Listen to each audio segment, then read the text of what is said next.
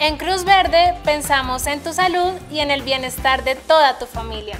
Por eso te damos información sobre el uso adecuado de tus medicamentos y dispositivos médicos.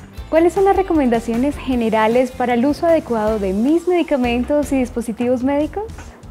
Son cinco recomendaciones. Revisa el producto cuando lo recibas y confirma que sea el que necesitas. Antes de usarlo, lee muy bien la información que trae el producto. Por ejemplo, en cajas y etiquetas.